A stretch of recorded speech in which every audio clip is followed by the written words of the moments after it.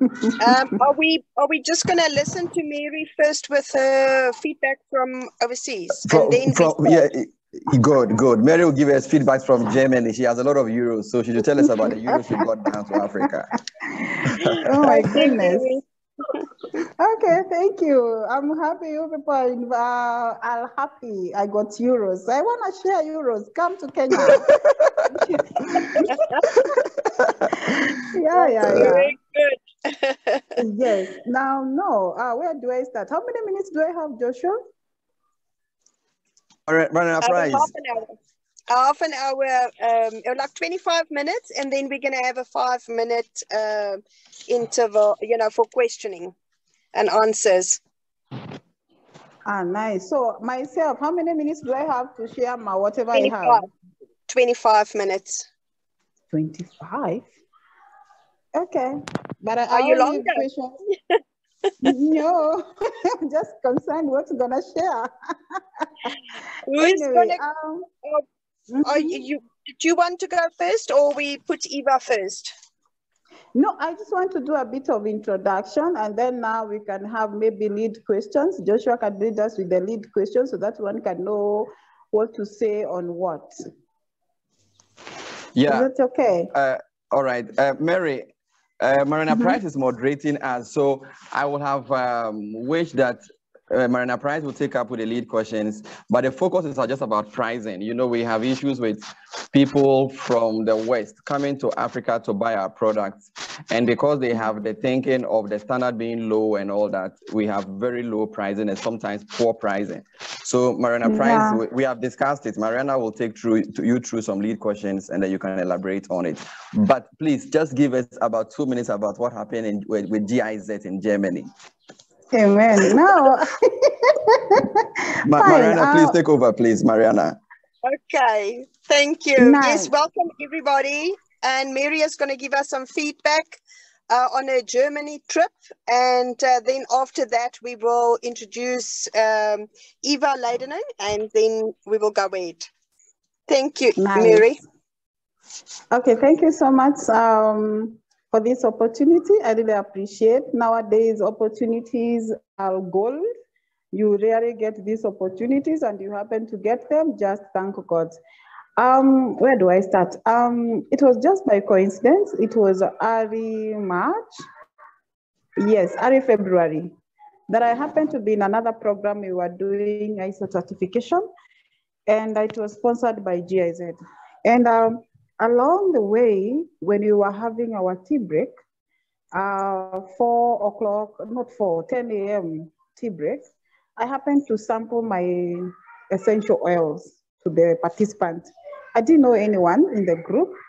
And um, I, I do mix moringa with eucalyptus, with rosemary, and then just to spice it and to try make people have it nice. So I started sampling it in the tea for everybody. I didn't know I was sampling to a donor. And that is how it surprised me.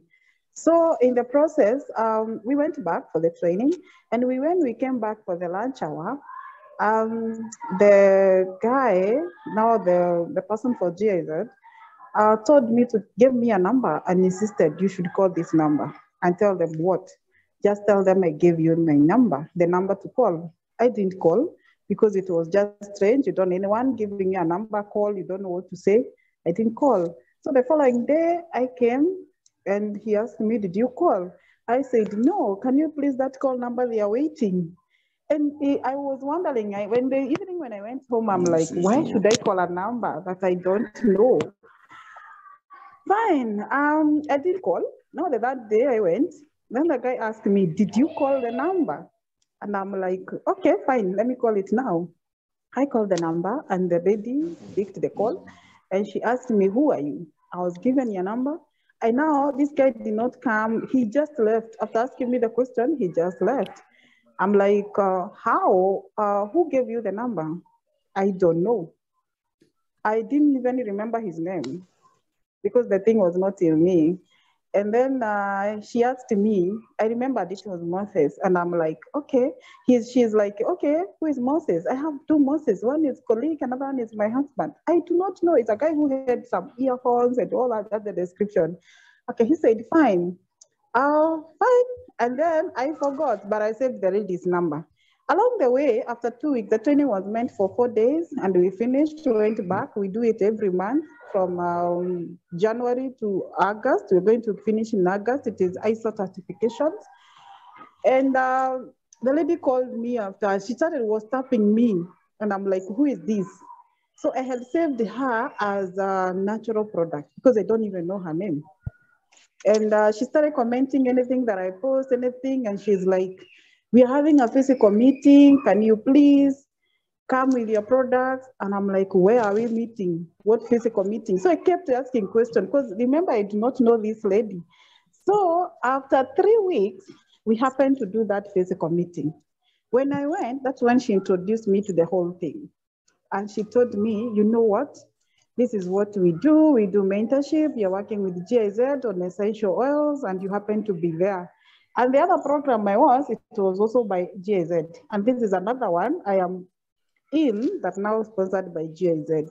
Then I said, fine. I went there, kept calm, and we finished the whatever you were doing, and then went back.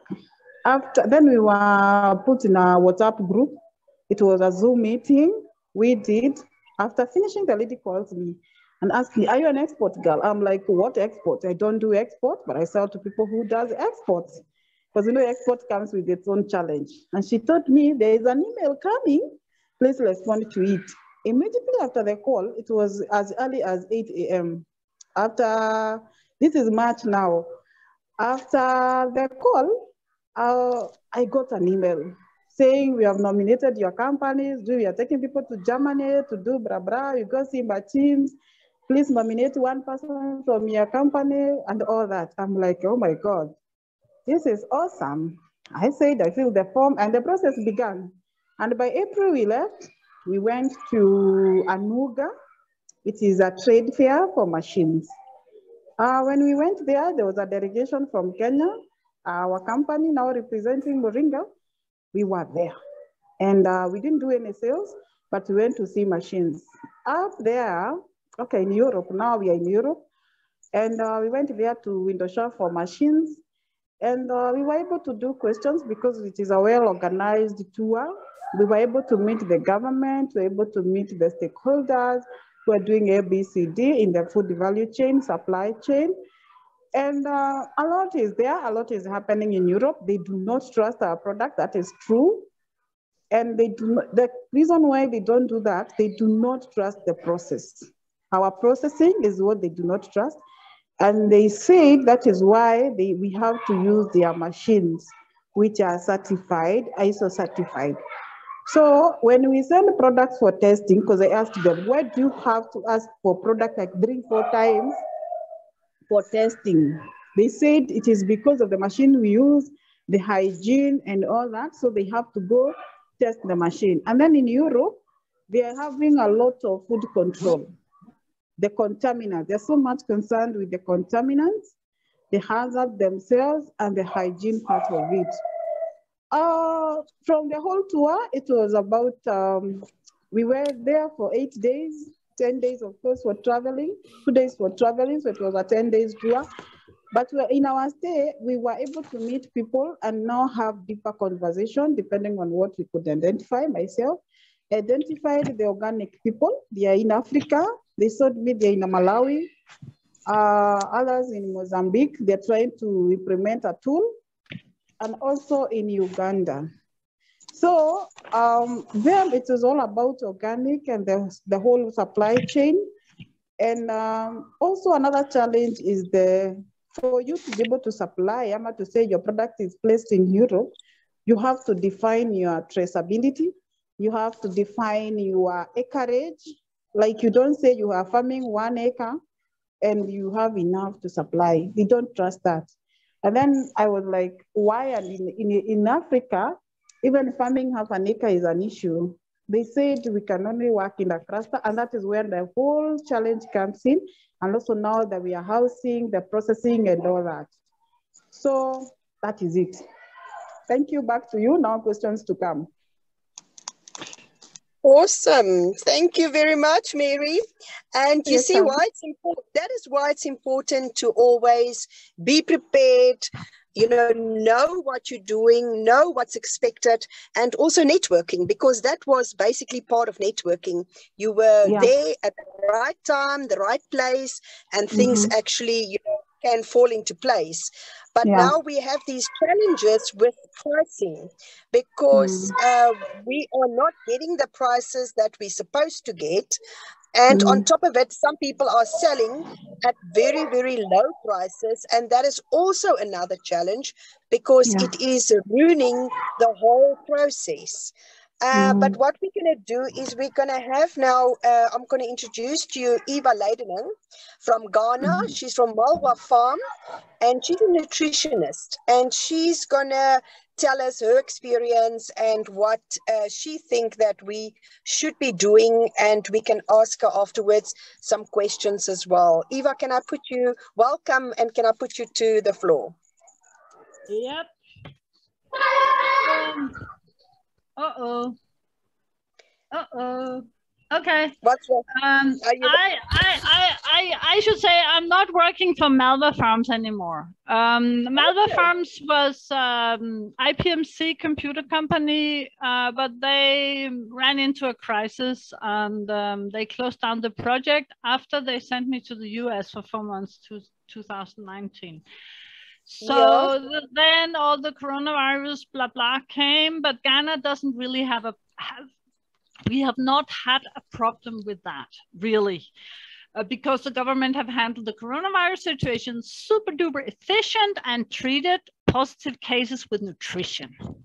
And it yes. was not with moringa, but everyone was given a herbal based a synthetic, but originally a herbal-based malaria medicine, vitamin C, zinc, and healthy food and all that. So Ghana government have handled coronavirus very well. So what happened while we had all this going on, I bought my own land. So for the past uh, one and a half year, uh, we have been building up the farm up here in the bush. So I live off grid out in the bush um, in Ghana now uh, with my uh, three horse grooms, and my husband is to to come to join us uh, when he retires from Ghana Armed Forces. So um, that's the situation. I'm not producing anything. My aim here is to uh, start Moringa oil, uh, Moringa for oil. I believe there is a market. There is a, a window of, of opportunity in Europe because of all the mess the mess in the Middle East and the downward spiral of the olive oil production. Moringa oil have very much the same nutritional qualities of olive oil. But I, I know that I'm a a few years ahead of myself. Um, so I have this land. I am. Uh, I started to work with the, Indian strain Nomax tree, as it has um, much higher yield potential. but we ran into hundreds of difficulties, but I have about 100 trees growing. And right now I'm waiting for pollination. I have to get some bees because the lovely neighbor farmers, they put pesticides everywhere. So there oh. is actually no pollinating insects here. And I thought I went out to the bush with no farmers around, but they even, they even spray under the canopy of high uh. It's very interesting to to see it, and it's a mega problem. But I'm I'm dealing with it step by step. So I am not producing anything, but I have grown moringa on three different locations in Ghana, and encountered all the different problems around. But this about pricing, uh, I don't know much about it. But what I was thinking when Joshua asked me to join in today is that there are many, many aspects of it. And um, uh, I'm going to go for local markets when we start because it's a long, long process to get export certification, approvals, and all that. So uh, what I'm thinking is that the pricing issue is two different pathways.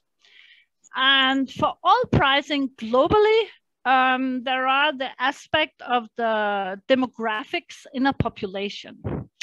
And of course, the prices locally in Africa are lower because the buying power of the people of Africa is lower.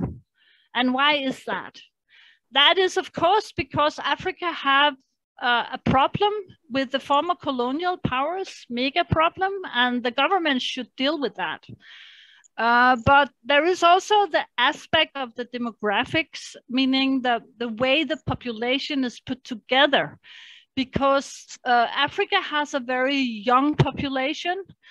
And that means that there is still 40% um, below 18, I think, here in Ghana. And in other countries, it's even worse, quote. and in some countries, it's like South Africa, it's better. But the, the net effect, the net effect of this is that the, the working population who is supposed to take care of the children and the elderly is a very small part. So all their money goes to the basic necessities. And, and it's a luxury to buy like food supplements, herbs. I mean, they do it, but the price will never exceed what they can pay because then there is no local market. So the demographic plays a big role in what you can ask, what price you can ask in the local market, because otherwise you just don't sell it and someone will underbuy you. Um, the other one is that um, um, there is a lot of money wasted. Uh, and I don't think that I should go into this, but that has to do with religion. And uh, I did a calculation here in Ghana and just uh, because of the religious tight system, which I am allergic to, uh, I calculated that just even if we have such a small proportion of the population that is in working age, we have so, so many school kids. Uh, Ghana is actually having around one to two billion US dollars per year one to two billion US dollars per year going into the church's pockets. That is money that is already inside Ghana. And that amount of money could fix the 1,000 schools Ghana is missing in the north. And it's the same in a whole lot of other countries. Like I have a farm in Uganda, I have one in Kenya, about the same. So there is a waste of money that could be used better. And, and I'm not going to to go more into this because all the religious people is going crazy. So that's okay. Then we have the global market. And the fact is that the perception of Africa is that Africa needs help. And that is bogus because Africa netto actually bleeds 40 to 50 billion US dollars to the rest of the world every single year. So if those monies stayed in Africa at large, it could fix all the healthcare problems or all the school problems. It could make more or less um, uh, education accessible for all and all that. It could it could build infrastructure. It could um, industrialize more if that's what we want. Um, so Africa is bleeding a lot of money every single year to the rest of the world. And why is that? That is because uh, there is a lot of tax evasion and there is a lot of mistrust in the governments. And there is a lack of, um, I would say, quote, cultural resistance to take responsibility for your actions and how you use your money politically. So there is a blaming culture going to the politicians. And I don't say politicians are angels, but they are about the same all over the world. So I don't think the African ones are much worse than the rest in the US or Europe, uh, because I have lived all these places. Um, so there is tax evasion, there is corruptions, and then there is politics. And some of these things are not that easy to solve on um, um, business, a smaller or medium business level. I, I, think one of the governments that actually have solved part of it Uh, it was in the mining industry, and I think it's Namibia. Don't hold me onto it, but it's. I think Namibia put as a prerequisite for mining companies to mine their copper that the percentage the Namibian government get from the mining companies follow the, the world price. And that's not the case in countries like Ghana and at least Sierra Leone I know something about. Uh, they, they go into some very, very bad agreements with these big uh, multinational companies. And that's, that trickles down into a lot of other uh, situations. So the governments definitely have to step up for Africa. Yes, they have to. And the, the, the voters have to tell their politicians that we are done with corruption. And that's corruption on the small level and on the big level. And we are willing to pay tax. In Europe, we pay 40 to 50% tax. And here in Ghana, people pay 5, 5%, 10% if, if they pay at all. So um, the governments don't have much money to work with. And then the corruption steps in. So I think this price thing is a complicated matter. It's really, really complicated.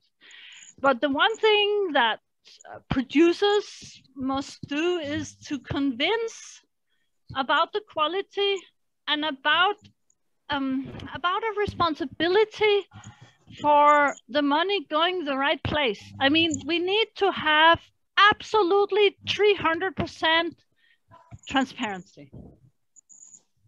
So we have to document that, for instance, a certain percentage of the money goes to, of course, some will go to, to development, some will go for tax, some will go for some kind of um, social responsibility development.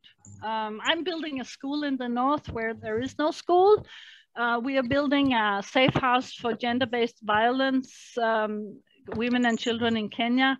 I mean, we to document all this that you are actually doing the thing so you can document that there is no corruption involved in the whole chain of events.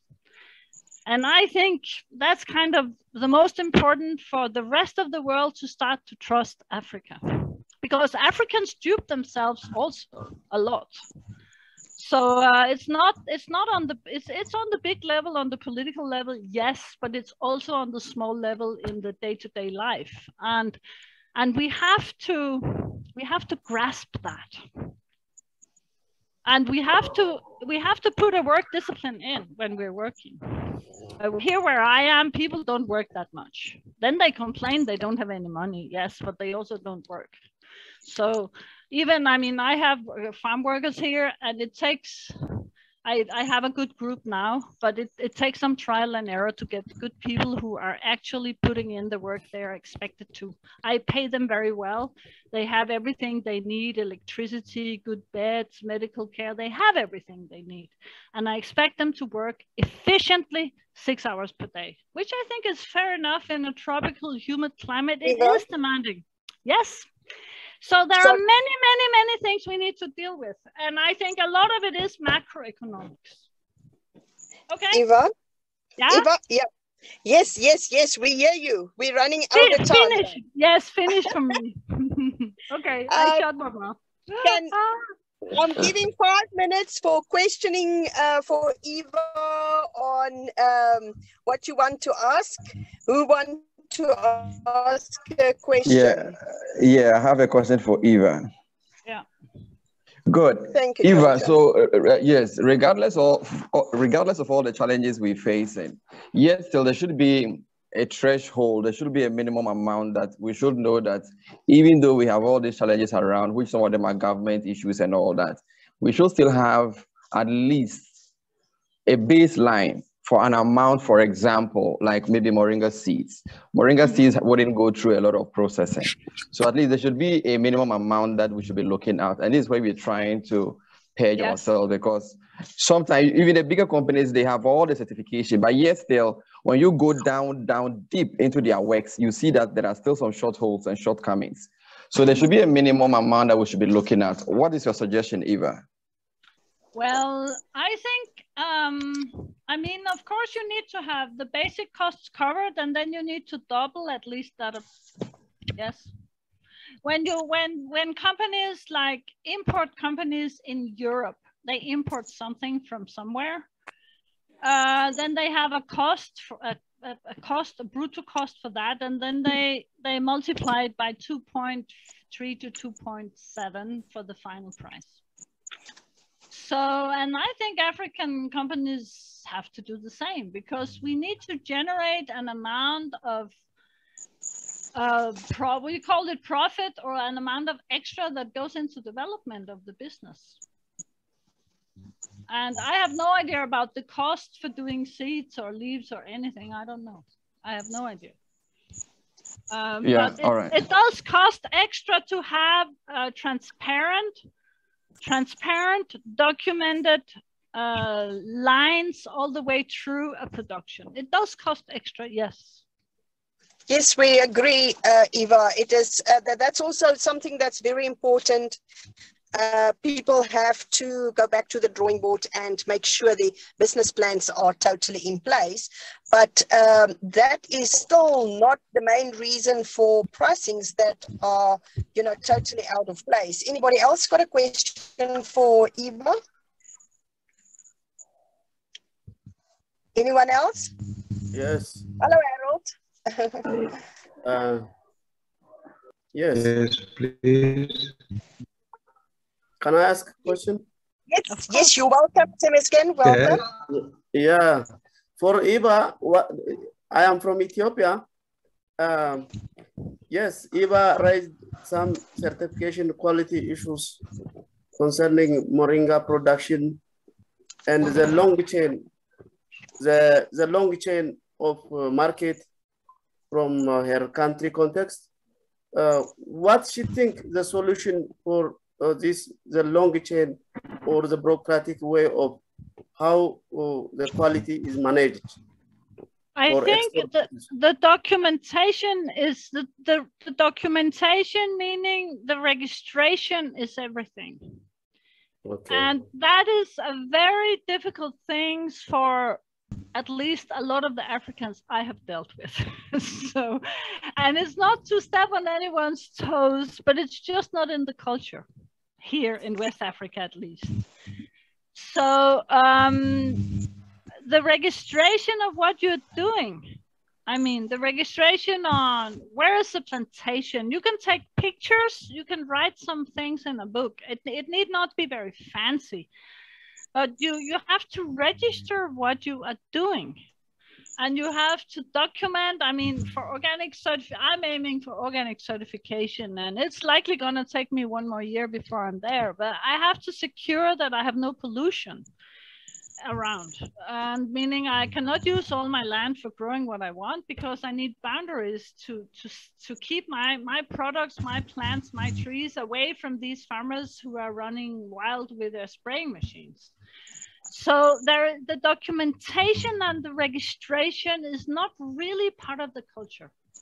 And, and that has to happen. I mean, I know I know one company here in Ghana who actually do moringa for tea and she do moringa and other things as well. And I, I, I don't know where she got all the money from, but she has put at least 1 million Ghana cedis into the process. It's very, very costly. On the other hand, we have uh, Paul Yeboah, who's passed now, but the, um, the Ghana Permaculture Institute in Techiman, and he did an outgrower screen with 8,000 8, 8, small scale growers. And that's where my heart lies. And he managed, he managed to do it on a bush level. Hello? Do, do the registration on a bush level. They managed to do it. It Hello? can be done. Yes, hello? it can be done. Who is saying hello? I think we had somebody who was just saying something. Hello. Mary, can we put you to the uh, to the floor? We will carry on with some more questions to Eva later because we need to get going with the rest of the, the two presenters. Mary, you are to the floor. I see your hand up as well. Yes, thank, thank you. you. so much. Uh, yeah, thank you so much. I agree with Eva. Mary, will you introduce yourself to what you are and where you're from and uh, your company's name as well, please? Thank you. I will do that. Uh, I'm Mary once again, um, coming from Kenya. I run a company called Agri Nutrition Enterprise, and our work is uh, Moringa throughout. We are in Moringa 24/7, and um, we started we started doing this so, in 2012. Mary, can I just interrupt? Can uh, Harold and Stanley and Temesgen uh, please? Yeah, uh, good Yes, good. Uh, Can you just happy to meet.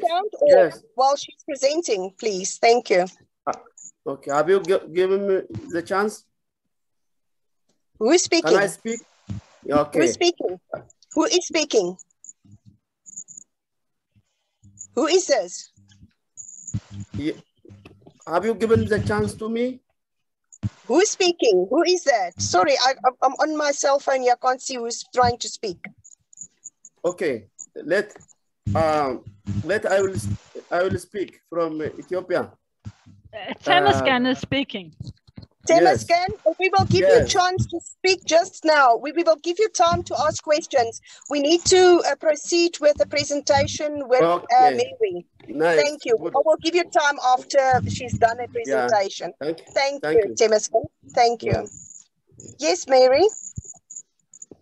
Uh, thank you so much. Uh, uh, like I was saying, I'm Mary. I'm from Kenya, and I run a company called Agri Nutrition. We are in Moringa value chain 24/7. We started this in 2012. We started addressing when I came across Moringa in a conference. We started addressing the issue of Moringa from propagation, crop management, post harvesting, and value addition all this time I've been in Moringa and um, yes, we have tried and tried and tried many stuff.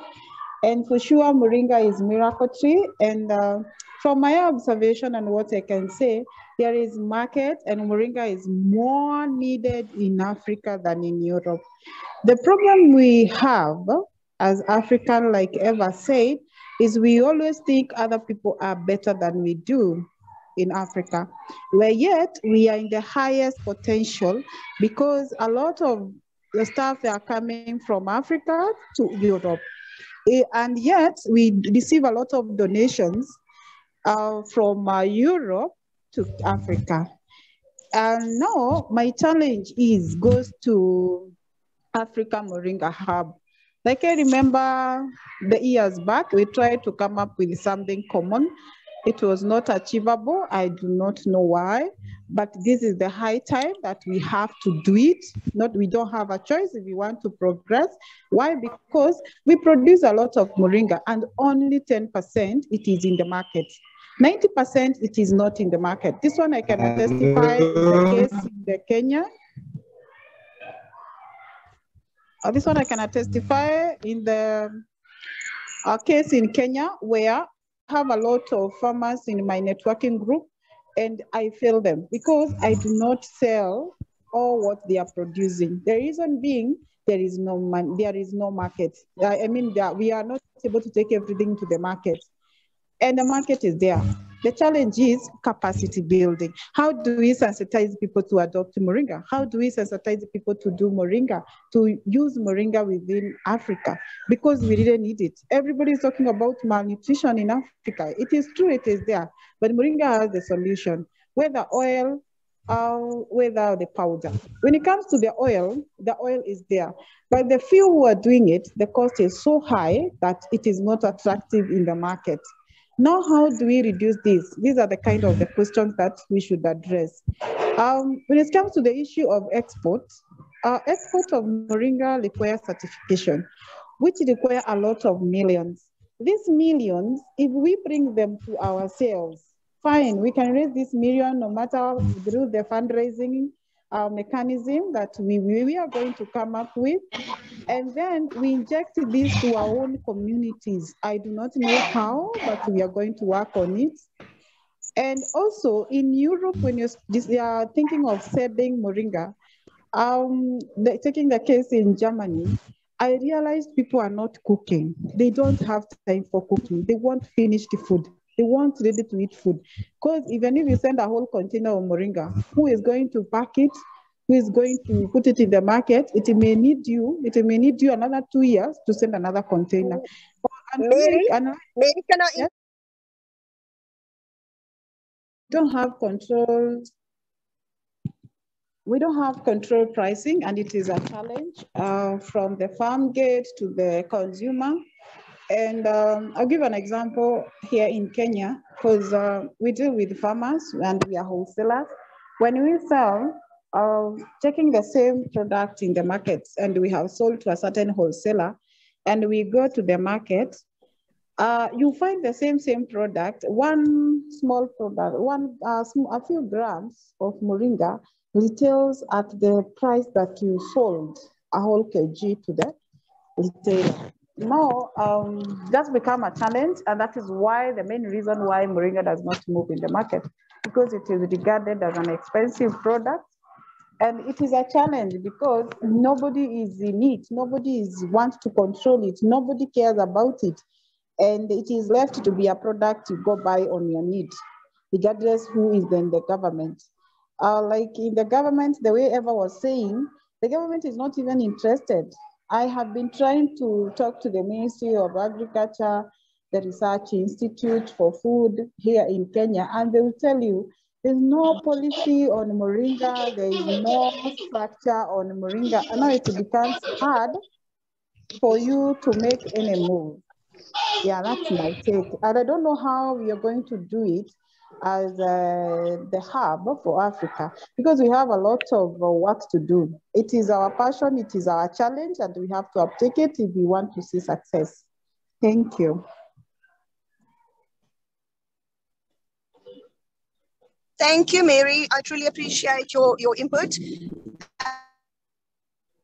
For uh, Mary, uh, there was a question earlier from the one guy as well. Uh-huh. Yes, you're welcome to ask questions for Mary. All right, Mary, uh, let me let me give you let, let me ask a question. So, from from your experience from the, the workshop you attended, is it that in the West, is there concern about the machines we use or the general standard that is a problem? The general what? Hunger.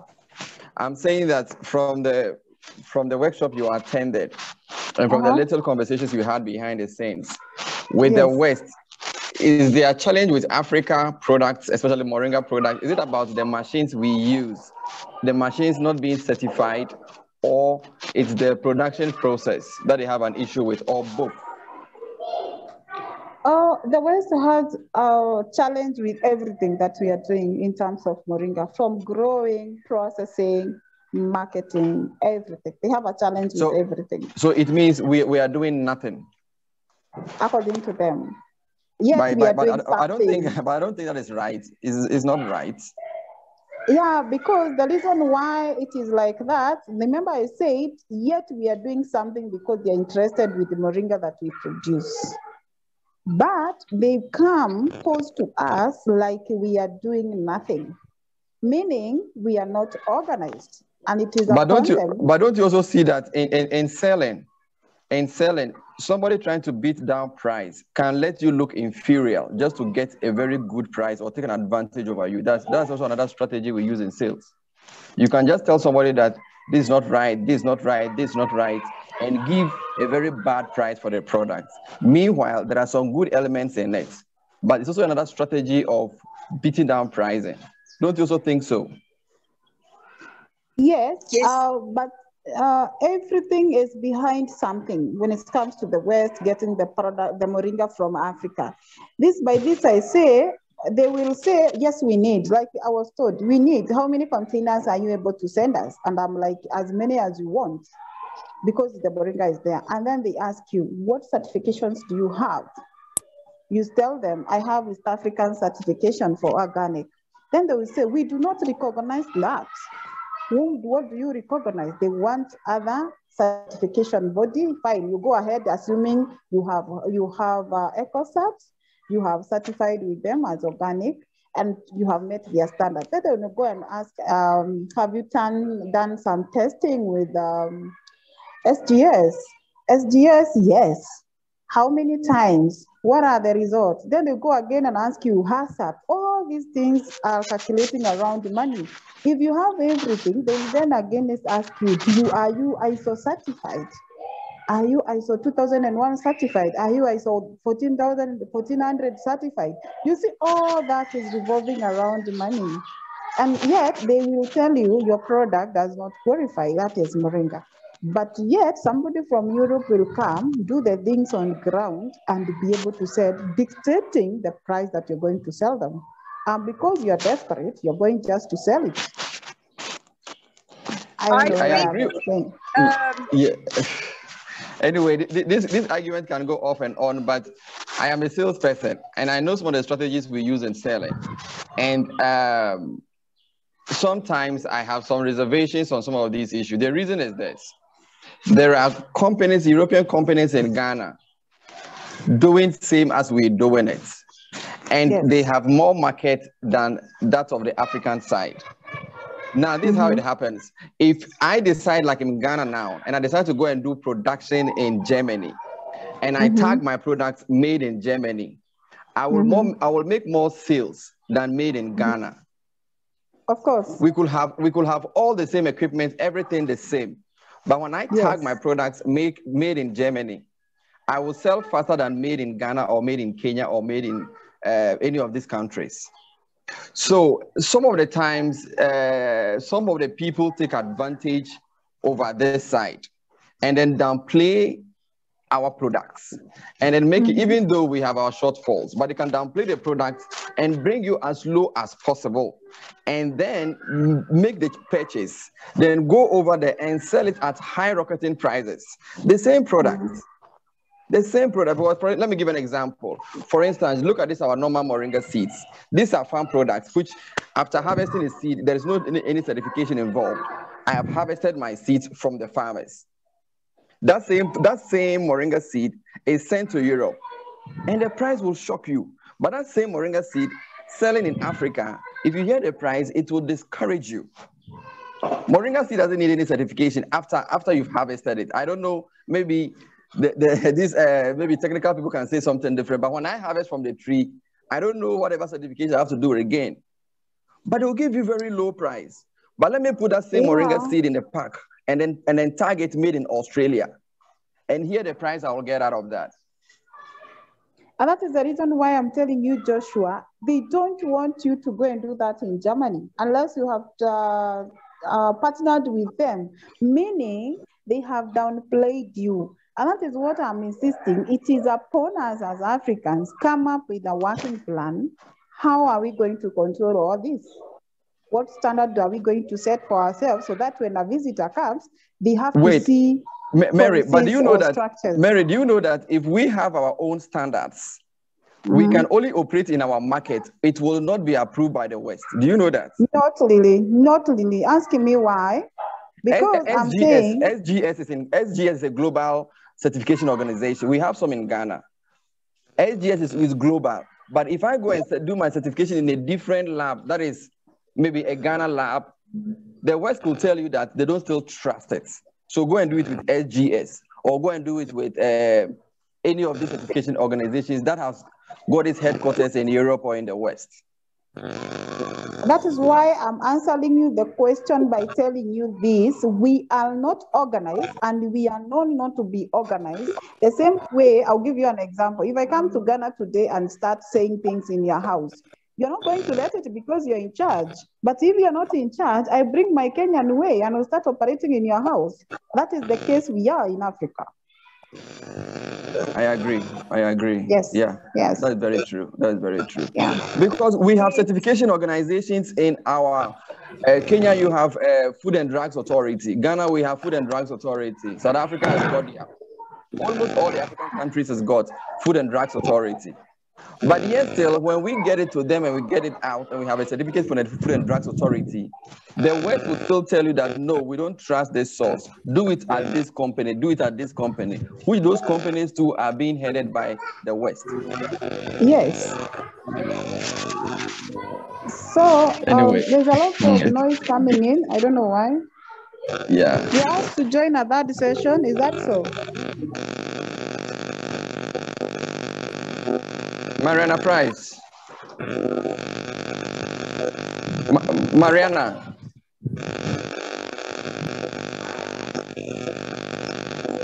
Oh, okay. That is the third section. This one will have to end before the third section. So don't worry. That's the third section. But I think I have a comment. I have a comment. Okay. Okay. And a lot of, I don't know which noise this is. It's very, um, someone, someone is having a very noisy background. Is it possible to mute it? Helen, can you put your uh, noise off, sound off? Let's see who it is. Okay, that was good. A lot of this comes down to documentation. Registering every single little stupid step. Even when you think it's not necessary, just register. And the other thing is that what I see here in Africa is this suspicion and the lack of trust in fellow Africans. And the lack of trust means not working together. So everyone is trying to fend for themselves.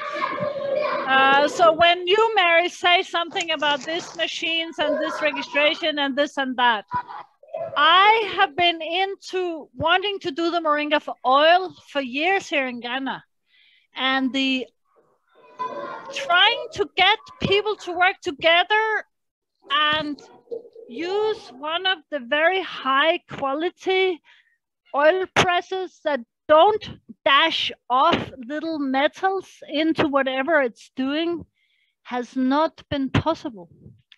I, I don't know how many oil presses we have in Ghana, but I have not even been able to find that information. And I live here and I know all the people, but when I ask them these very, very specific questions, I don't get an answer from the Africans. So eh, there is really a cultural problem on not working together. The way normal farmers in Europe became um, not rich, but got a decent life. I believe it's it's about getting a decent life for all the small farmers out there. Uh, it's not about prosperity and getting shit rich. It's about getting a decent life. And the way that the European farmers did it was to do community work. They work together. Yes, there are problems in that, and it takes a lot of time, but it's the only way forward. So I still don't know how many oil presses and of which quality do we have in Ghana. I don't know. Um, uh, I'm just going to buy one from Europe myself because I can do it and then I'm going to put the work together. But I don't get the reply from Joshua or from Divine no, no. Morning or from George Oakley or all the other Moringa guys. I don't get wait, the answer. Wait, wait, uh, Eva, let, let me explain, I please. Before... I have tried. No, you don't need to explain. But this has a lot to do with trust. This has to do with the trustworthiness. And as long as the Africans don't have the trust within themselves, it's a it's a projection. It is a psychological projection that the Europeans are all these bad people. And of course we are. Yes, we are. Because the rules in Europe are damned strict on quality. And if I start to export anything to Europe, I cannot live. One out of 200 outgrowers can spoil the whole business for putting pesticides on the trees or whatever. One out of 200 yes. spoil the whole thing. Huh? Eva? And, yeah? Thank this you. But we have to move. I think it's we, we, the same in Kenya. Yes, uh, that is, I, I, understand what you're saying and I understand your point. And we have to come to the solutions of teaching people how to yes, work together. Yes, yes, and yes, yes, yes, yes. Make yes. a serious effort. We've been trying for many years to bring yes, people to the yes. table, but yeah. we will, Eva. And we have to give now Stanley, who was also one of our um, guests that we invited. Is Stanley here, Joshua? Is Stanley already on the, on the group? Yeah, Stanley. Wow, we lost him for the second section because he was on the first, but I don't know whether he didn't get the the new Wow. Let Will um, you send it to him, please? Yeah, so let me send it to him. Online. Yeah, yeah, it's true. Let, let me get to him. Anybody want to ask a question to um, Mary? Any of to Mary, please? Yes, but but uh, Marina Price, please, uh, just a minute. Let me clarify with uh, Eva's side. With the machines, this is what I know.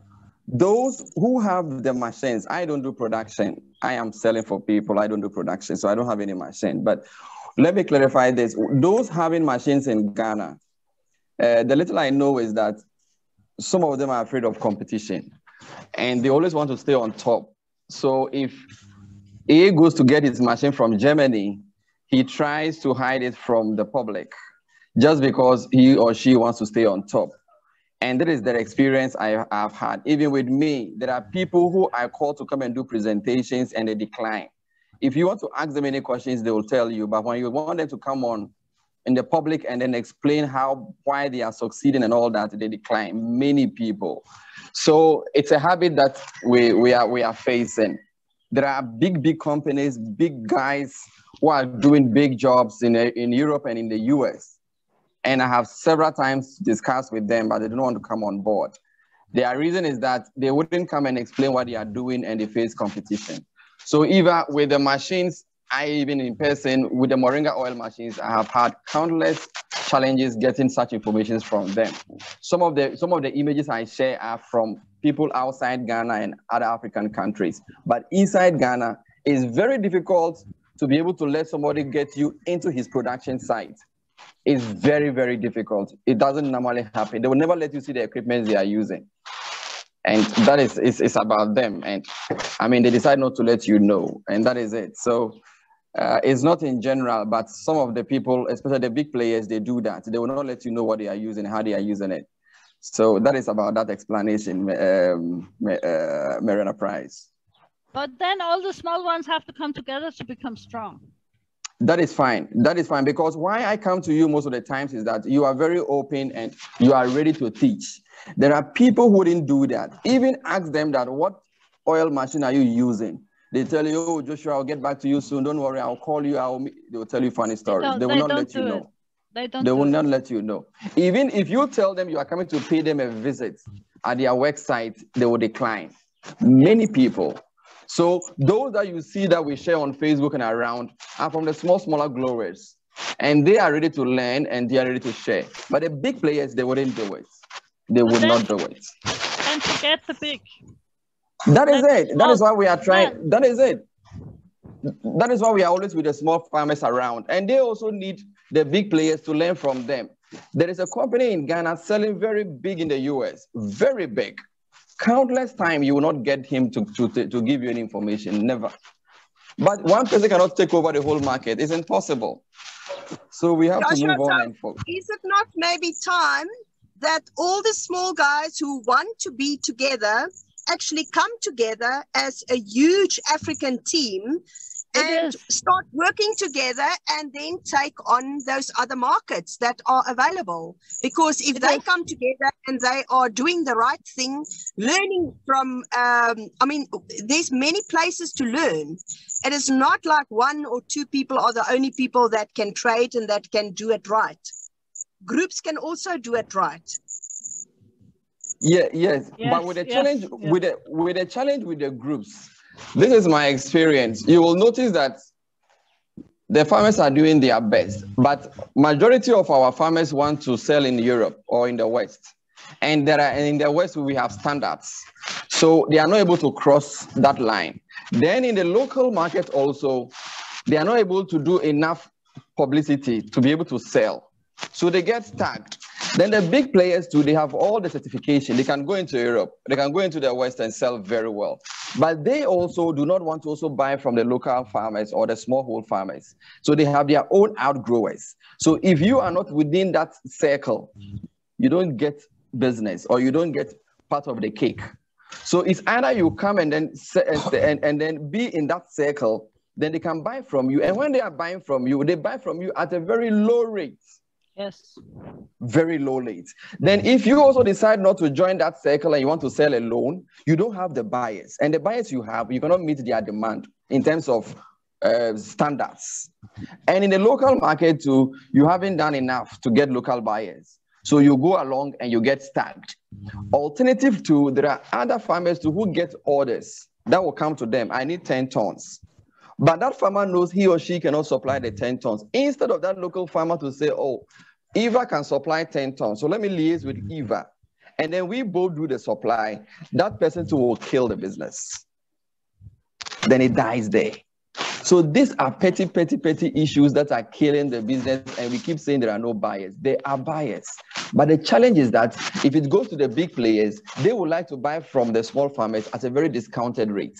If you don't join them and you want to sell it direct to the end buyer, you cannot meet his or her standards. Nobody would like to ship from Ghana or, or Africa 10 kilos or 5 kilos. They want it in tons. How many local farmers can meet that requirement in tonnage? They cannot. This is where we are always fighting day in and day out. Yeah, so just to comment on that, it's the same, right? Uh, pretty much you connected on the, the gaps you indicated.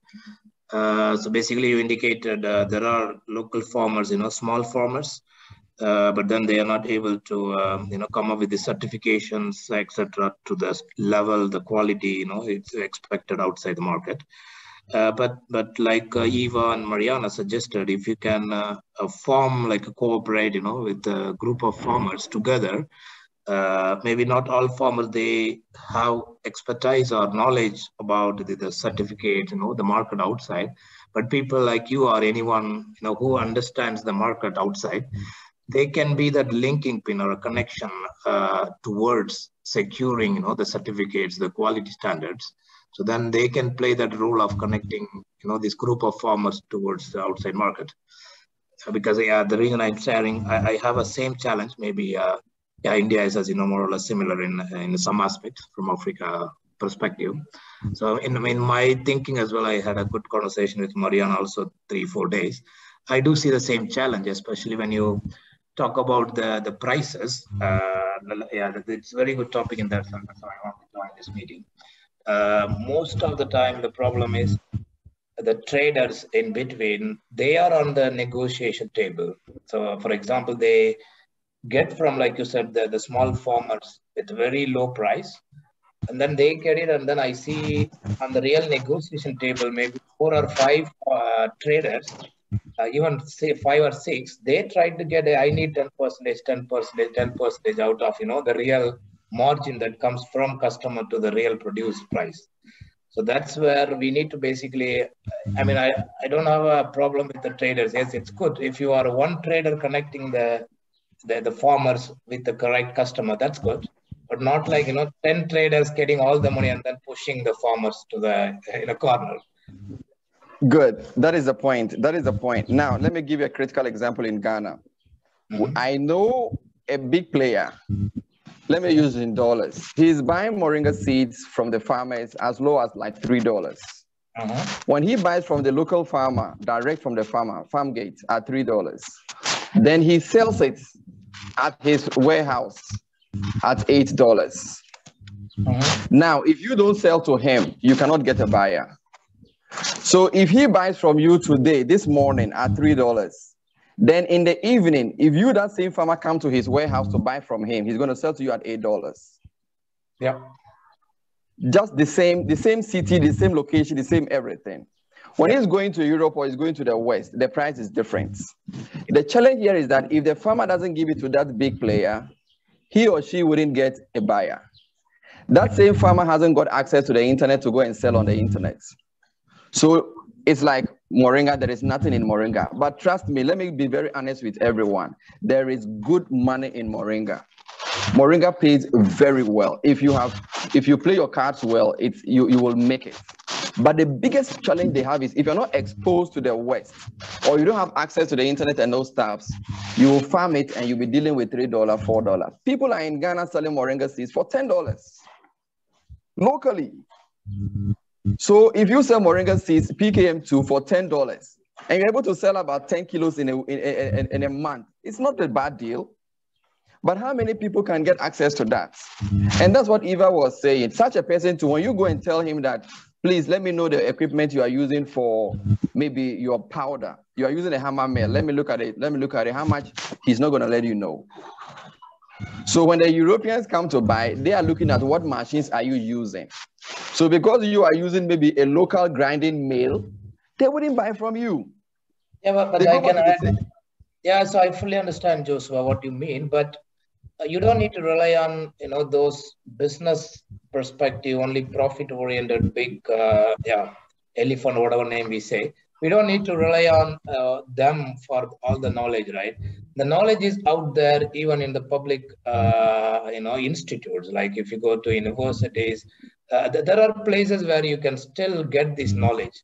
I think what is really lacking is uh, connecting all these dots. That, that's basically what I'm. I mean, as you know, I have been recently exploring all this, how I can, you know, contribute to. Uh, I mean, my region even on a global level, mainly supporting all the small farmers. What I see is the is the missing link connecting uh, the farmers who has less knowledge on the market scenarios like you said are how to secure the, the high quality in terms of processing even even the producing wise you know farming wise etc uh, I think that to me, if we have the right people with the right, you know, uh, vision and uh, the mindset, you know, to help people rather than only stealing money, always only doing the trading. Uh, yes, I mean, it's not for charity. If you need to only do it for free, you cannot do it for sustainable longer term. As you said, there is money in Moringa business. So we need to, for example, have someone, even for example, I want to fill that gap in India now. That's what I was telling to Maria, and I'm still exploring all the need. That's the reason I'm trying to join, you know, building my network, understanding the market. So what I would like to do, for example, I'm already trying to connect with some academic advisors from universities. Also, there are some agriculture experts I mean, not everyone is behind money, right? There are some good souls. Uh, they have knowledge. When i tell them this vision of you know helping more people helping more farmers to be sustainable even i mean there are many cases like i told last time some of my friends and family they even have to displace from their native place to other countries gulf countries just to earn you know 200 euros per month leaving their families. But yeah like you said in moringa or other plants you have business. It's only thing they are not able to get the price that they want when they do agriculture by themselves, that's why they leave all the lands, they run away. But if we can bring back, you know, them and then give them the right connections from universities or, or anywhere, you know, with the right people like us who can communicate, you know, with the right experts, and then set that standard. Maybe have one processing unit. Uh, yes, we will also get some money because to connect the advisor, we need to pay them as a consulting fee, etc. Let it be. But out of, let's say, if you take the margin of, you know, when you sell 100 euro, just an example, uh, out of 100 euro, you can give it to farmer, maybe 25 euros. Now they only get 5 euros, give them 20 euros additional, and then take the remaining 75 for all the other work you do. Yes, it, it is not easy, it is tough, but yeah, I think we need to bring the ch ch change. Otherwise, we are stuck in the second gear. Every time only we are, in my opinion, blaming all the, the big uh, shops. And then the, all the farmers are always beaten and then we are not doing proper farming. Right? that's where the problem also comes right? They the farmers also when they do not get right pricing they also yeah, start to lie right? They say i did not put any pesticide. They that's another problem in india also we have the same problem. They also do not clean the, i mean if they don't get correct process, pr- price as a fair price uh, they also start to say okay then i i just uh, you know throw the bad product and then whenever i get money i just get it and then run away so it's, it's the whole system has to change in that sense. But can I bring something to the table here? Uh, I know about people as well. They say they have agents working for them and um, help helping them to get these sales. But they, like you say, there are little lies being told and they come up with uh, wrong information. Sometimes there's three, four um, agents that are dealing with uh, paper the paperwork are being um, you know, fiddled with, and that is not just regarding Moringa, that's selling a lot of things on export level. But we also have to build our local markets. I know everybody wants comes to export, but yes, our local markets need to take um, a preference as well.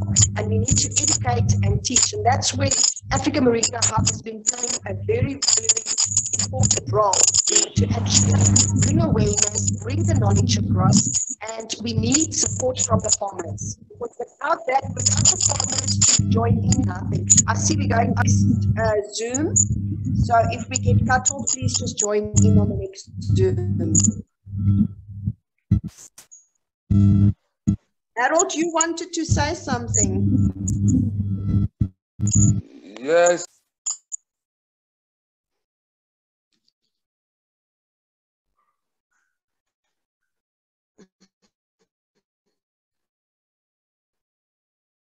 Are you there, Harold?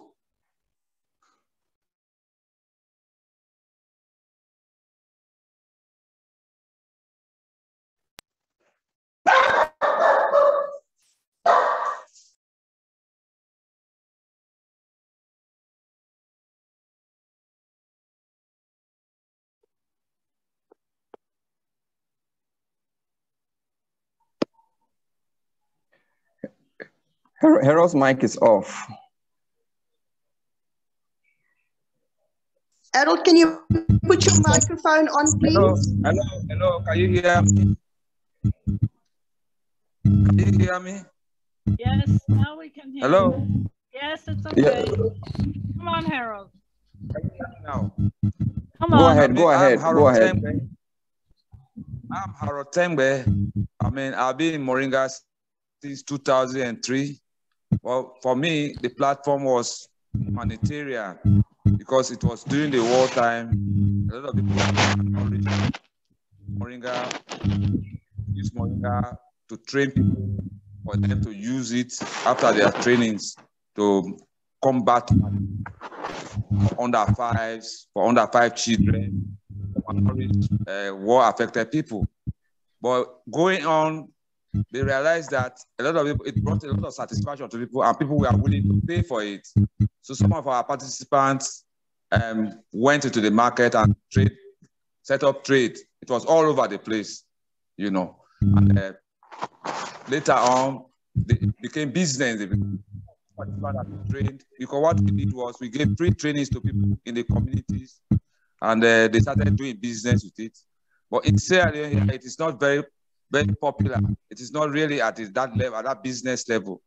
You know, I am the lead in Moringa for nutrition, and I've, I adopted it in our local diets for sure, and uh, it has gone wide, and people are using it. So lately, I thought that uh, I go into it and improve my knowledge in commercial production.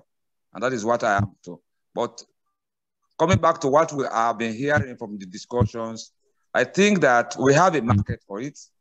But what Africa needs is, first of all, we have to use the methodology I call, we have to define what we want to do. We have, we have to prioritize the problems. Which, what are the problems that are really affecting Moringa for this market? We have to, my, those are like a statistical diagram, a beam which we, we can one, we can analyze our situations and find a way out and control it. Definitely, there's a big opportunity particularly in Sierra Leone. We are not into using chemicals in our farms. It is so natural. We have enough. We have we have done a lot of. People really have. People have really got the idea of what is moringa. We have told them what is contained in moringa. It has all the nutrients that it contains, and you have to regularly use it. But up to this day, since I we are very few that is producing moringa, the others that are just coming in for business, they are just producing products that are cannot be regularly used by the public. But we can produce tea, look at sauce. Like the other time, we have also we can use the powder as sauce instead of tea. So that is a big market. But one thing is certain, we are very few here. We have all the natural resources. But one thing is support, financial support to undertake the large production. For us, we are very reliable. I mean, we, I know Africa is Africa is unreliable. But when it comes to something that is economical, we are we are willing to accept partners to work with them honestly and with transparency to make sure that we earn money because we are just coming from war. Who are very much willing to, to undertake those things. But the problem is that we are limited in resources. So what we what people have been doing was to plant around their, their homesteads and uh, generate a little bit of money. But if we can be we can have partners, we can organize the market correctly, we can define what we want to do, we can measure. Yes, yes. Uh, the argument is that we have a ready market here, but we don't. We are not very advanced like in Ghana, because uh, we don't have big farms here. But right now, I'm just in the process of setting up a one acre farm, and with. Um, knowledge experience sharing in, in, India. I have a meeting every week. Every week, I hold a meeting, a, a knowledge exchange program to establish a one acre trial. So we have a big opportunity here in Sierra Leone. The Moringa thing is not yet saturated really. And there is need for that kind of business. Because in this world, we have initially the colonial people introduced cocoa and coffee, and today it's in high gear. So also Moringa, everybody accepts it. You have a lot of people who want it in and out of the country. So if now that I'm part of this network, I'm really, I mean, sending a message out. If there are, there are any hands, any supports, I mean, please, we are welcome. I will we'll promise you that we'll cooperate with you and we'll give you all the what we want to do. Thank you. Thank you, Harold. I really appreciate your input. Um, is there, and I will definitely, um, you know, have a conversation with you regarding uh, Zambia because there are some very big farmers there that needs a lot of help there. Um, and who else uh, needs to ask a question? I just want to say I'm really impressed about what you're telling, Harold. I have been in Sierra Leone also, and it's not that I know so much about the country. The soil seemed to be better than what we have here in Ghana. But I'm really impressed about what you have done. Wow, well done. Thank you, Eva. Anyone Thank else you. need to Thank ask? You,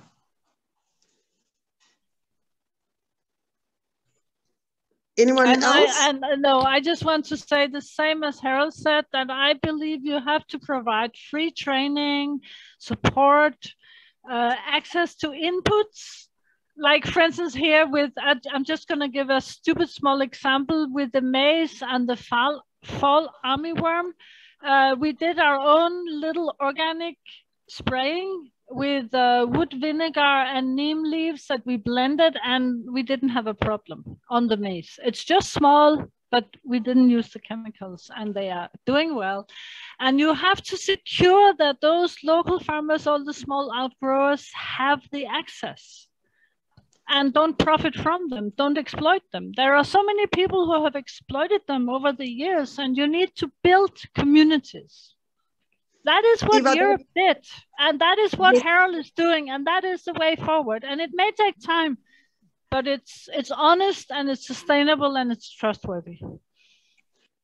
I agree, Eva. They are uh, exploiters, and um, you know, it's like you don't want to go into war with them, but you have to take them on and actually make sure that they uh, put back into the communities and not just taking off the communities. But then also, we need to train more uh, yes. But we also need assistance from our governments because I, am very, very, I can almost say I'm disgusted to know that the governments are not supporting, um, you know, the farmers like they should. They, they will do it with maize and with all the other growing things. But when it comes to uh, all the natural um, plants like your neem, your moringa, and all that, that's very important out there, they are not supporting. Yes, they talk about it. Even on international level, they speak about it. It's on everybody's tongues, but they are not doing anything. And yes, we are uh, working hard uh, to bring that onto the tables all the time. And I Anyone? think that that is a pan-African thing because the European Union have, and that is one of the completely unjust situations between Africa and Europe. That in Europe, the farmers get subsidies for every acre they grow. When I was growing grass for my horses in Europe, I got around uh 2300 2500 ghana cedis that's about going close to 350 dollars per hectare for growing grass for my horses. Mm. yeah that's something that uh, africa is not used to support with. And uh, it's even the same. So Africa is much more on her own. And that speaks into that Africa have to work together.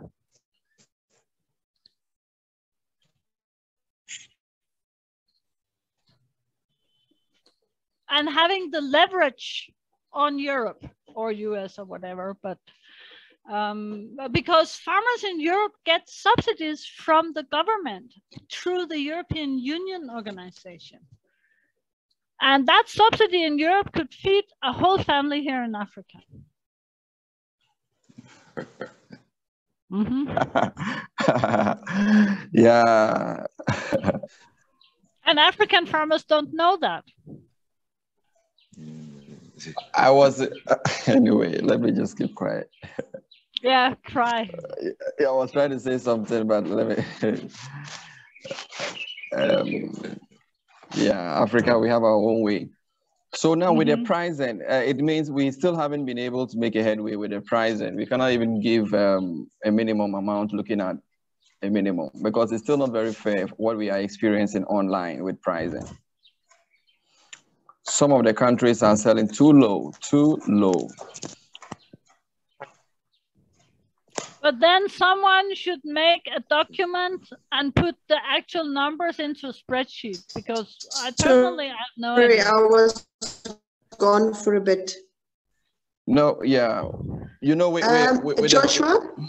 Yeah, you have something more that you would Yes, um, Eva was talking about putting something together in a spreadsheet. With with production, with value, with value-added products, it's going to be difficult. Every producer will have his own way of selling it. But I was looking at something, for example, minimum, like the, the seeds, like the, I mean, just a raw powder, just only the powder. There should be a minimum because it. Uh, sometimes it's it's very disappointing when you hear figures that are being sold out for products. It kills your spirit, and you imagine how much is a farmer just getting, and can the farmer sustain his or her business? Because as low as three dollars, as low as four dollars, two point five dollar a kilo, it's just something that we shouldn't encourage. At least there should be a minimum amount, regardless of um, the challenges that we are facing. And if we are able to even start from somewhere, I mean, it can encourage more farmers to get on board. But if people are going as low as $3, $2.5 per kilo, um, it will not encourage others to come on. And even how best can you use these small monies to maintain your farm and pay your workers? Obviously, you will not, you will not be able to survive. So this is where um, I, I was looking at that maybe there should be a way that if we could have a conversation with all the farmers on board or something, but there should be a way that we should all be able to agree, especially with the with the raw products like the, the seeds and maybe the raw like the powder at least. There should be. I visited um, I visited Burkina Faso and I noticed that they have a minimum amount of selling their moringa powder. No matter who you ask, they will not go below below below a particular amount. Majority of the farmers, be it so small be it a medium scale, be it a large farmer, they had a minimum amount they were selling their moringa powder and moringa seeds. And I noticed that with the French countries as well. In Cameroon too, the same. In Cameroon, the same. In Benin, the same. In Togo, the same. In Burkina, the same. But in the in, in the Anglophone countries, it sounds to be different. But Joshua, I, I think that is because we allowed it. We allowed to, you know, to let people walk over the farmers? And is it because of agents or is it the outside people that come in and pharmaceutical companies that are buying in and are pushing? Look what's happening to the guy from Malawi. He is selling so under below, um, you know, uh, pr producing prices that how can he do it? And he brings it across the border and um, it, it, they are creating the wrong impression. But how do you stop them? I opened my mouth and I said uh, to a lot of people in South Africa, I said, we have to stand up to it and we have to stop it. We have to bring those minimum pricings in. And then they said, no, they don't want to, they don't want it. But how, how come people cannot understand that. They might have a market. It's the people who's got market but it's for the people that does not have a market that's got to build a market where the prices are uh, you know the scary part. So how can they grow? They're not going to be able to grow if people come in and sell below um, you know growing prices. So yeah that is something does not make sense to me. Those who suffer most yes, those who suffer most are the are the farmers. Those who suffer most are the farmers, like what Eva was saying. Even though Eva hasn't finished, uh, Eva hasn't finished uh, her farms, but she has a target group and she knows what she's about. She knows where she's sending her products to. So she wouldn't feel the heat. But the, there are other farmers that will jump on the idea and say, oh, well, I want to, I want to do Moringa.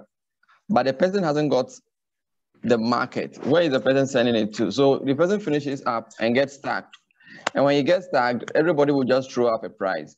But my thinking was that the platforms that we, we are managing, if we all agree and we set minimum prices, we can we, we, we, we can we, we, um, we can monitor we can, we can monitor pricing coming through. And then if somebody is going below a particular threshold, we, we do not approve it. So that at least we can be able to know that maybe Moringa seeds PKM2, especially the PKM2, the local one we have around, minimum, maybe $5 minimum. But it should range maybe from $5 to 10 because in the French countries, they, they, have a, they have a very good price for the seeds and the powder. French countries, if you enter their farms, you notice that they have invested very well in the farms and their prices are high way above with those in the Anglophone area. I have noticed that the way we sell our seeds is not like that in the French countries. And whether you go to a big farmer or a small farmer, they have a very good price they give out. But when you come to this side, like in Tanzania and, and Kenya, Kenya has got a very good pricing system. Kenya is good, but in Tanzania, in Uganda, in Malawi, uh, Zimbabwe, the pricing is a little bit on the low side. And, and, and, and majority of the experience is from Malawi is from um, Uganda. This is, so far, these two countries have huge supplies of moringa seeds, but they have the lowest pricing in, within, within the African continent. Those that are selling very well are the French countries. Their pricing are very good. And you can see that when you get to a farmer, you notice that the farmer is really doing commercial, I mean, he's really into commercial moringa farming. So I, if you narrow it down, I see that the pricing issue we have in uh, within in the Southern African countries is Malawi, Zimbabwe, and then in East Africa, it's Uganda. Kenya pricing is very good. They have a very high price. Ghana, some, some people will not even tell you their price. There are people that are selling, but they will not let their price known to you. Sorry? I know, but how do we get those prices that they lift their prices? Because there are too many people that are buying from them and they're taking all that at you know cost. And it is pharmaceutical companies that are buying it. It's people that are, you know, going into production with um, value-added products that are buying it at a no no price. How do we yes, uh, that? yes. How, how we could get to them is maybe inviting them on a conversation and letting them understand the need for them to put up their price at a very good rate. But maybe they can also tell you that if they raise their price up, they might lose their buyers. And they don't also want to lose their buyers. Yeah, but now remember, some of these people that are bringing it are not the growers. They might be growing a little bit for themselves, but they actually yes. take from uh, from uh, very poor farmers, and that's yeah. where the, okay, don't need quality. But uh, when it comes to powder, you do need a clean product. Yeah. But I've also seen this. Um, very good quality.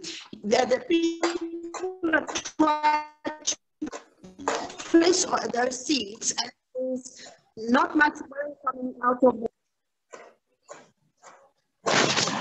Maybe we could also encourage we could also encourage people displaying their prizes. Yes, we can do that. We can do that. We can, yeah, we can encourage people displaying their prizes because if people start to display prizes, uh, people will know that, oh, so this man is selling his, his moringa powder for, let's say, no, moringa seed. I use moringa seed a lot because it does not require much certification as compared to with powder. So if we start displaying prices, it can also minimize people under, under, under selling their products. So maybe let us look at how we could encourage a pricing. If you want to display your product, you should quote prices. There are people who will not quote prices. If you ask, I'm selling powder, contact me or inbox me and I'll give you the price. But that's a Ghanaian thing. They all, everyone say that here. Yes. You have to discuss, you have to inbox for half an hour to get a price with everything. But that's moringa. that's we should everything. do that, Joshua, because it's very, very important. Uh, look, there's all these big companies. They have. Hello, can you hear me? Hello.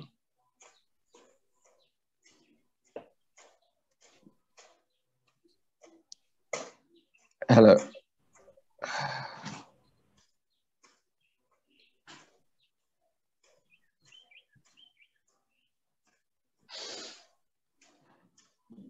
Mariana, are you there?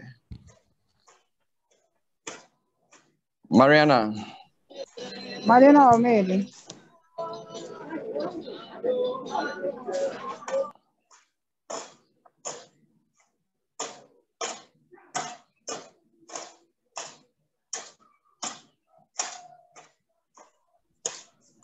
I think we lost Mariana. She will jump on we were discussing, uh, Eva, you were saying something about pricing, people not displaying their prices. But that's the same everywhere here. Yeah. You have, you have to talk with them for half an hour on WhatsApp yeah. get basic information. That is very true. That is very true. That is very true.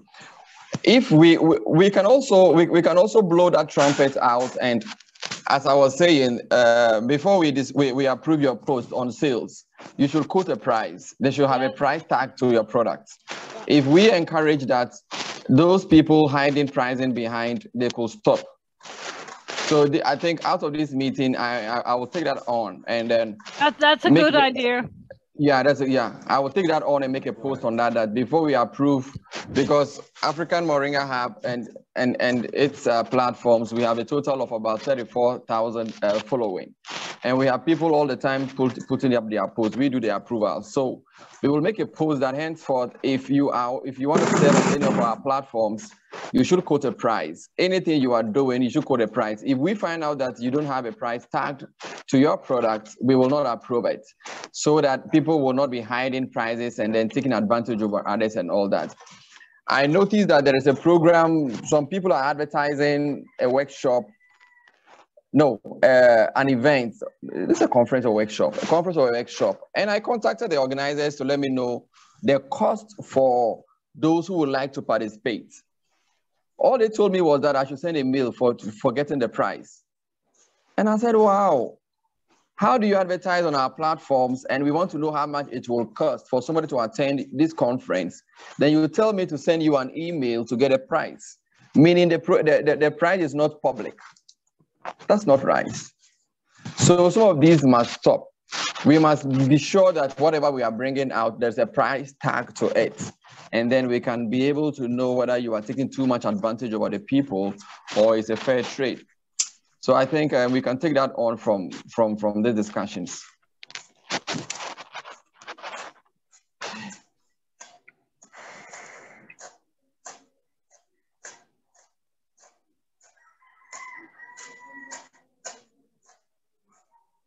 Hello, Mariana. Are you there? I think we lost Mariana. All right. So we lost Mariana now. Hester, you have not said anything. Hester, what do you have to tell us? Um,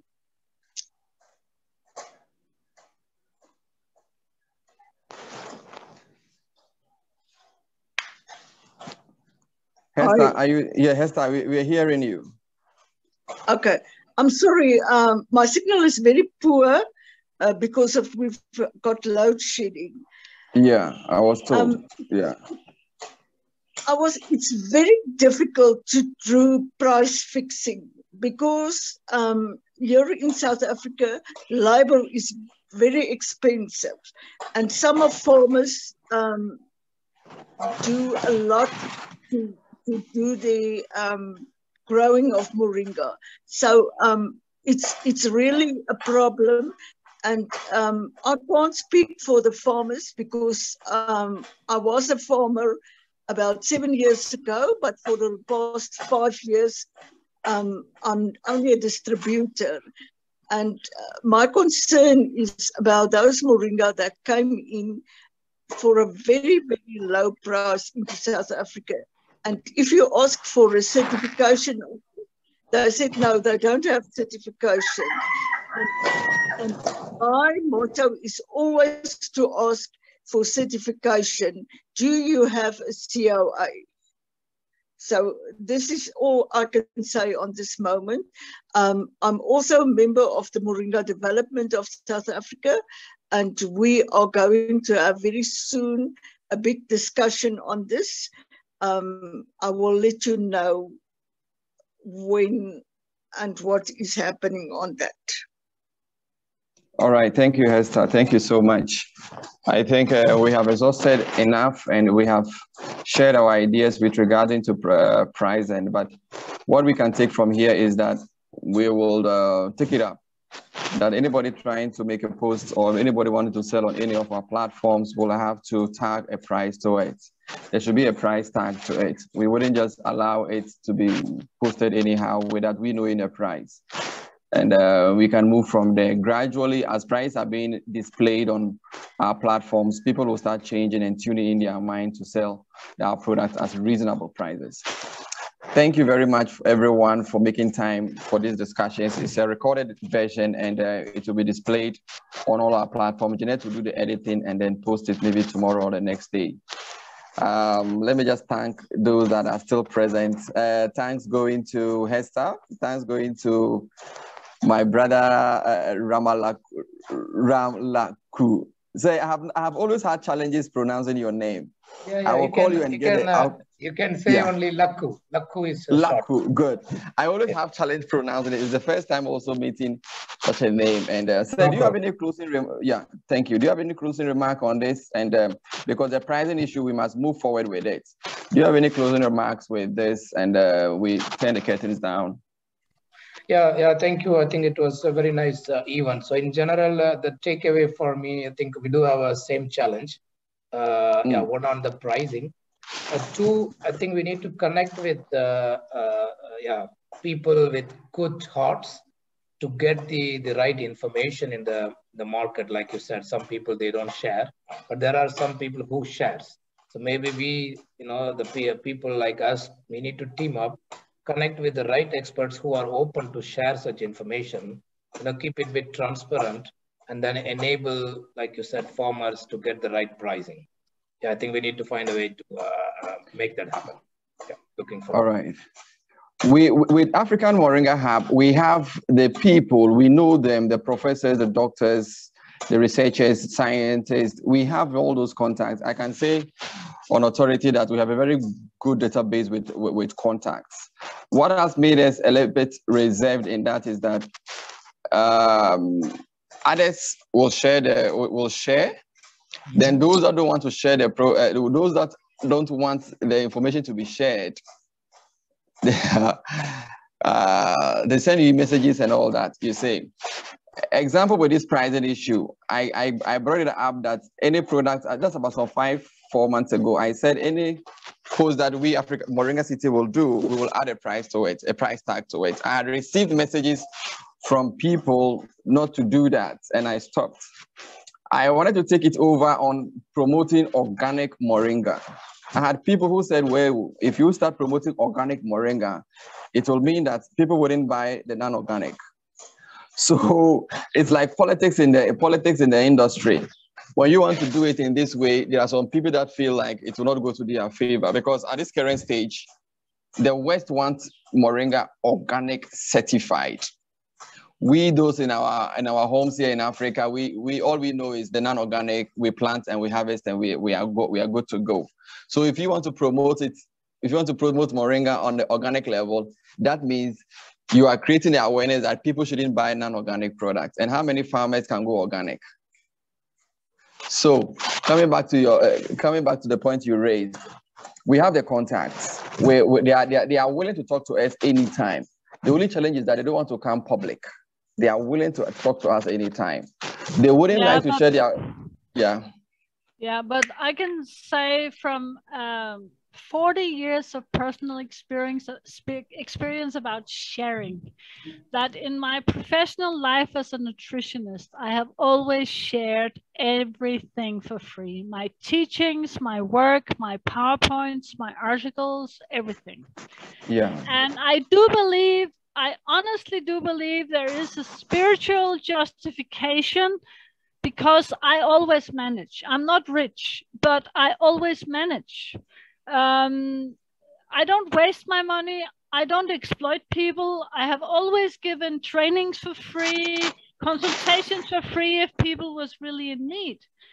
And my life has been very rewarding. So I do believe exactly as Ramlaku says that we have to follow our hearts. And those that are greedy, and there are many of them, Joshua, the greedy yeah. ones that wants to become yeah. prosperous.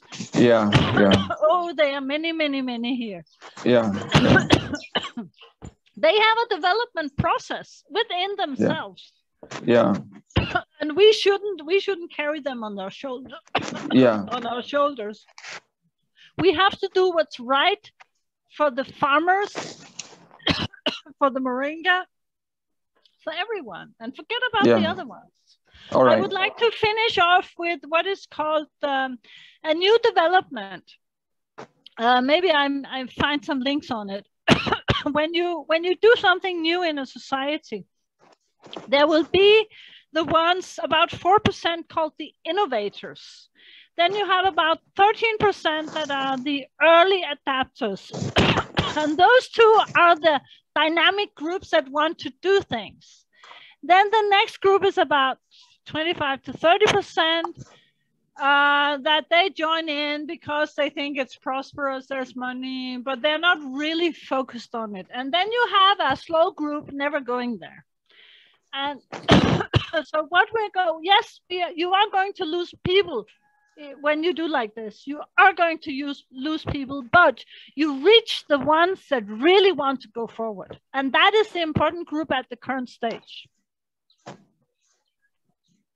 Okay, over and out. Yeah. And thank you for today. Yeah, yeah, thank you. Thank you, Eva. Thank you so much for always making yourself available to us. Thank you very, very much. I highly appreciate.